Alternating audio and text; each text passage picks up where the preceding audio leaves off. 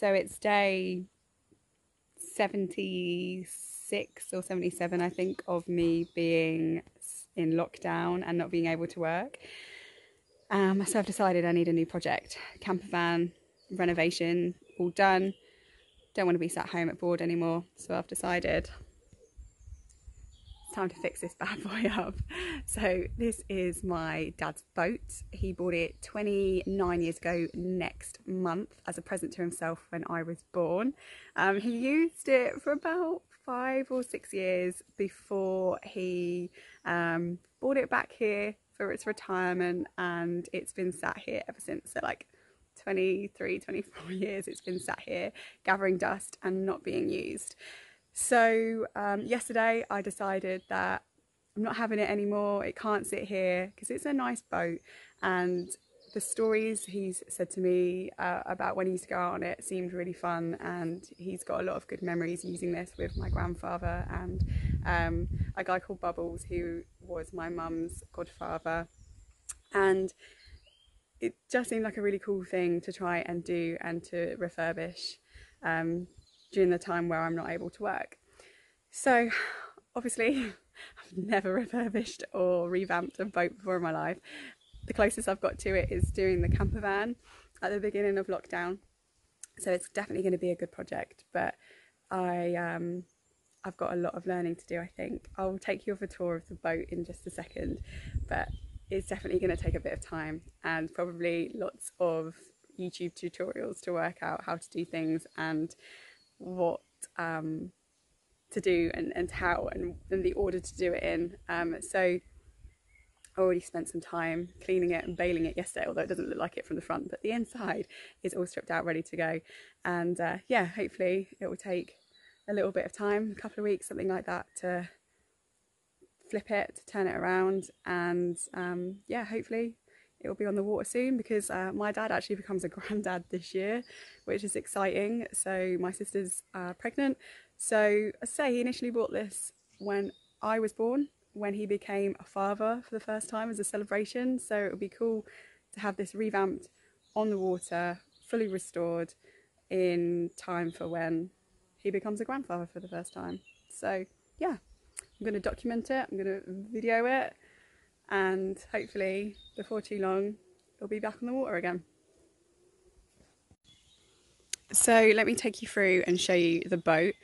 Um, so although I don't know the exact length of the boat, I would say it was probably 16 or 17 feet um, long and it's been sat here for about 24, 25 years. So it's in a bit of a state, let's say. So this bin, you can see it's a wheelie bin, was absolutely full of debris and dirt, which I have scooped out of the back of here. Um, so this is the rear of the boat. Um, you can see the line that it came up to. um, so this was full of tree debris, uh, debris because it's in the back of a garden underneath some conifer trees. So there was loads of leaves, dirt, trees, plants, anything and everything that you can imagine. It was in here growing.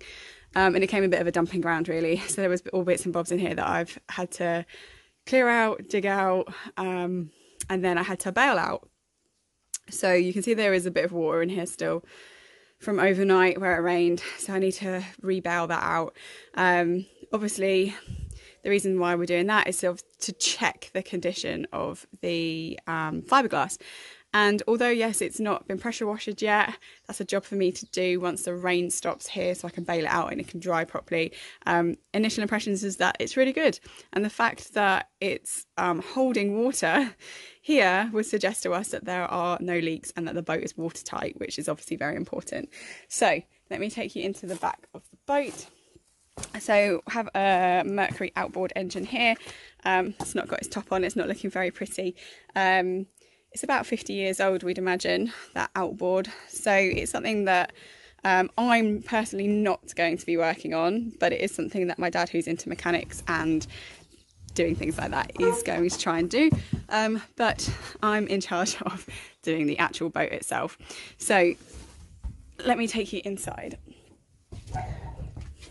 So yesterday, I spent about an hour and a half bailing and cleaning out the rear of the boat. And then I turn my attention to the inside of the boat. So um, in both of these um, side units here um, are two leather seats. And during the day, obviously, you can come in here and you can sit down if it's raining outside, or if you want to chill, you want to read a book.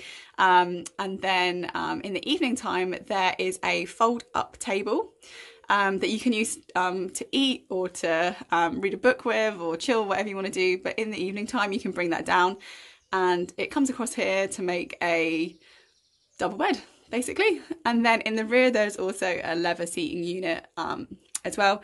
And underneath that is storage, and there's storage in those two bunkers as well. So I've taken all that out and I've assessed the leather, and the leather's actually in super good condition, um, which was really pleasing. So hopefully I won't have to re um, upholster the leather because I'm not sure that I can do that. Um, but definitely the wooding backings of the chairs needs to be replaced. So in this area here, um, there used to be a toilet system in here um, that you could use if you got a bit cut short. Um, on top here was a sink unit, in the side here was a radio, and then in this side there was a stove cooker on the top here, a gas cooker, um, and also storage unit for pots and pans, food, etc. So um, the next steps for are to come in here and to start to strip away the paint. Um, so you can see that the paint just literally comes off in my hands. It looks not so great. Um, so we've got to sand all that back today, um, all on the roof and everything as well. Um, assess the condition of the material underneath it and then, um, yeah, mend and repair as necessary and then repaint. Um, all the carpets I need to get ripped off as well. Gonna rip off those carpets and then, um, yeah, redo all that too. So yeah, that's the next steps really. So it's a bit to do. There's a lot to do. Um, but as I say, it's a good lockdown project. I'm unable to work as the government haven't given me any guidelines yet as to when I can. So it'll give me something fun to try and do that I've never done before and to try and learn some new skills um, over the next couple of weeks really. But there you go.